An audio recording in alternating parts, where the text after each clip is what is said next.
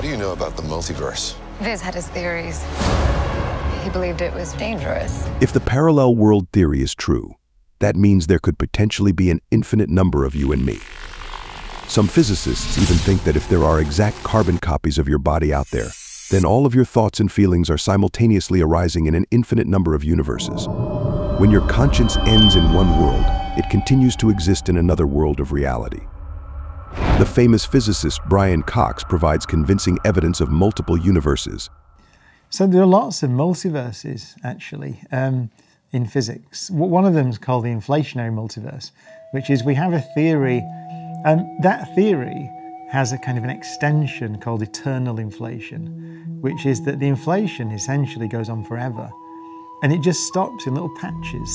So you imagine this, this the fabric of the universe, space-time, stretch, stretch, stretch. And then it slows down and stops in little patches. And each one of those patches is basically a Big Bang and a universe, of which ours is one.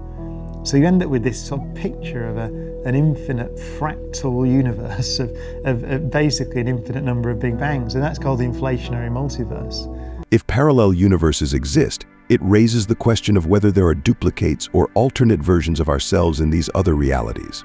According to theoretical physicist Brian Greene, in an infinite number of parallel universes, there would be a finite number of ways that particles could be arranged, leading to inevitable duplications of reality or ourselves,